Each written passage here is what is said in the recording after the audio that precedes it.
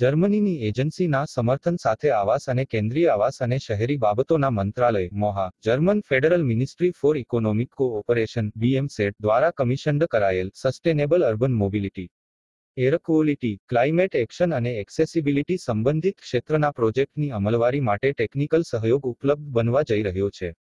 આ પ્રોજેક્ટ ભારતના પાંચ રાજ્યો, ઓડિશા, ગુજરાત, કેરળ, કર્ણાટક અને મેઘાલયમાંથી પસંદ કરેલા નવ શહેરોમાં લાગુ કરવામાં આવ્યો છે. જેમાં ગુજરાતમાંથી રાજકોટ અને સુરત શહેરનો સમાવેશ કરવામાં આવેલ છે. આ પ્રોજેક્ટ અનુસંધાને આજેતા ત્રેવીસ મે બે હજાર ચોવીસના રોજ રાજકોટ મહાનગરપાલિકા અને જીસ દ્વારા street development, complete street development વિષય પર વર્કશોપનું આયોજન કરવામાં આવેલ હતું.